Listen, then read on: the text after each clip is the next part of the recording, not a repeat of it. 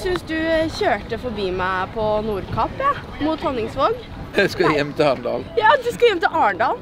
Så du har faktisk kommet helt opp til Nordkapp og skal sykle hele veien til Arendal?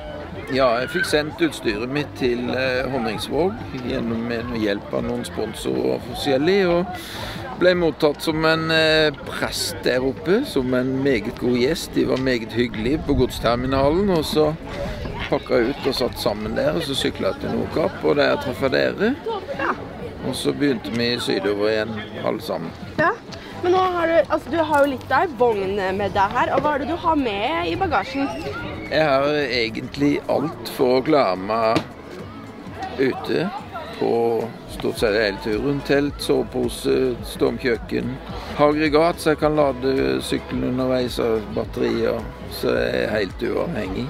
Ragnar han har bygd tidenes sykkel som han skal sykle fra eh, Nordkapp til Arendalsuka med. Eh, og jeg fikk lov til å prøve. Du er litt lengre enn meg, Ragnar. Ja, kanskje det.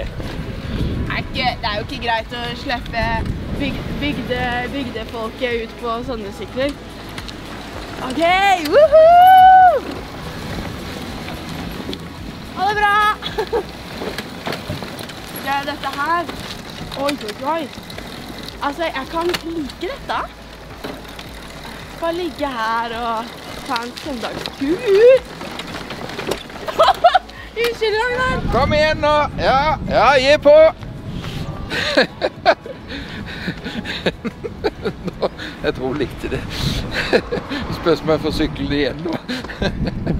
Hvorfor vil du sykle fra Nordkapp til Arendal? Nei, fordi jeg kan ikke gå så langt lenger, så da må jeg finne på noe annet. Så da sykler vi. Ja, men så flott. Men det, hva, hvordan har du forberedt deg til å sykle så langt?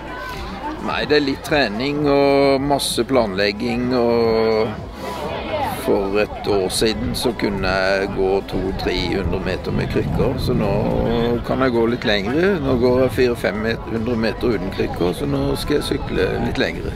Du, dette Så nå har jeg fått rigga til denne sykkelen med spesialsete, armlener, godt ryggstø. Veldig komfortabel. Ja, du sitter jo Det ser jo ut som du sitter skikkelig godt oppi der, da. Jeg gjør det. Ja. Jeg gjør det. Så jeg har det i grunnen som plommer egg i. Men du må ha masse lykke til og god tur. Tusen takk. Ja. Vi tar en high five. Vi snakkes i Arendal, gjør vi ikke det? Ja, det gjør vi. God tur. Takk, takk.